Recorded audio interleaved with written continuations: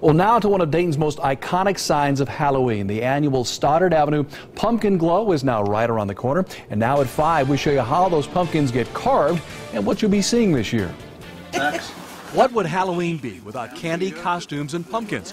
And when we say pumpkins, we mean carved ones and lots of them. It amazes me that it, that it can get done. I mean, I, can, I think there were maybe 400 a few years when we, ago when we started, and it's just growing and growing. There's over 800 this year, and it just amazes me that they all get carved. That's the idea behind the annual Stoddard Avenue Pumpkin Glow in Dayton's historic Grafton Hill neighborhood.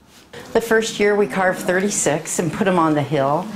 And there was such a nice response to it that we thought, well, let's try it with a little more. But that didn't last very long. Now it's a major event that includes days of gutting, tracing, and carving done by volunteers. First started coming just as visitors to see the hill, and it was so amazing. And he um, liked carving pumpkins at home, and he said, I want to go carve pumpkins, so we came down and started carving. We've been doing it for a few years now. The backyard is just filled with pumpkins.